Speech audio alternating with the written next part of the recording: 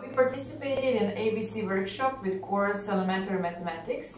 Uh, elementary Mathematics is an introductory and optional pre-course for course Mathematics on Faculty of Economics and Business Zagreb.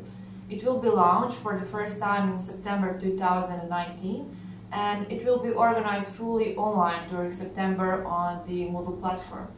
Uh, the course syllabus will revise essential high school level topics in mathematics which will prepare students for understanding the university level mathematics.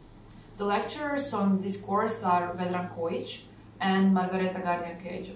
Uh, since it is a pre-course, it will not have any ECTS or other kinds of credits.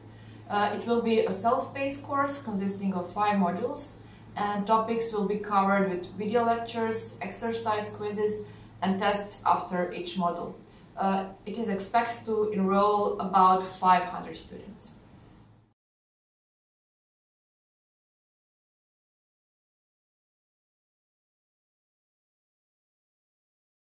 We decided to participate in the ABC workshop because we needed guidelines for developing a good and organized program for a new e-course.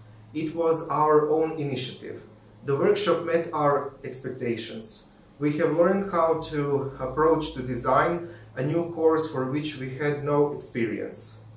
We believe that ABC method is useful especially for young lecturers for developing design for their courses and we would recommend it to our colleagues.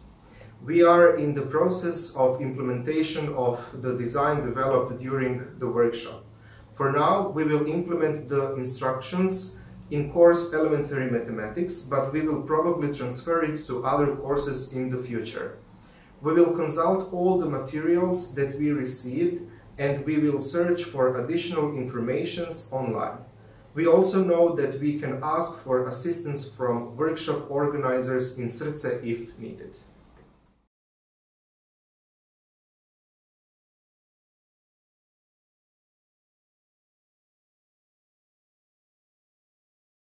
Uh, the ABC workshop was fun and it helped us a lot for structuring and organizing our ideas and plans and connecting activities with the desired course outcomes. Uh, we had an initial idea on how to structure our course and what activities to include. However, the workshop made us think about important issues that we did not think of in the beginning. Uh, first, it motivated us to think about the appropriate duration of our video lectures an important thing is that now we included research and activities which will be done by students themselves and which will engage them and enable them to actively participate in the course. Uh, it also motivated us to implement more discussion and evaluation tools to get feedback from the students, uh, which was overlooked in the first proposal.